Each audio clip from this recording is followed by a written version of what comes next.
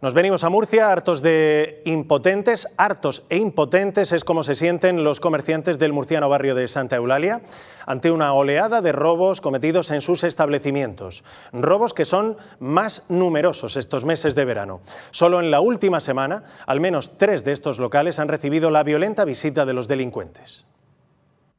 El modus operandi se repite, fracturan los cristales con adoquines u objetos contundentes que encuentran en la vía pública, acceden al interior y se llevan lo primero que pillan. Han roto las ventanas y han ingresado.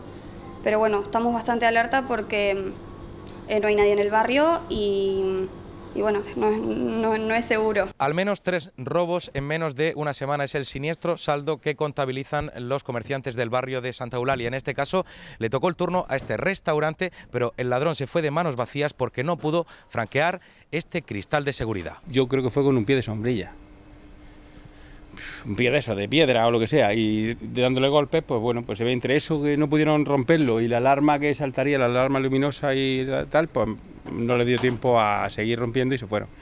Pero bueno, el daño está hecho. Los vecinos de este castizo barrio aseguran que ya no saben qué hacer para detener este preocupante incremento de la inseguridad en sus calles. Ha habido asociación de vecinos, de comerciantes, para que pongan un poco de policía.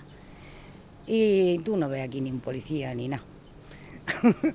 y por la tarde si te da una vuelta, bueno, ves cada ficha. Es que yo a trabajar no vengo tranquila. Hoy le tuve que pedir a mi pareja que me acompañara a abrir porque ayer fui amenazada, eh, me, han empujado. Siempre está rondando por el barrio, eh, le exige a los clientes que le, le den dinero. Impotencia estamos trabajando haciendo cosas que, que, solo gastamos dinero. Por eso reclaman la instalación de cámaras de videovigilancia y una mayor presencia policial que disuada a estos delincuentes acuciados por la droga.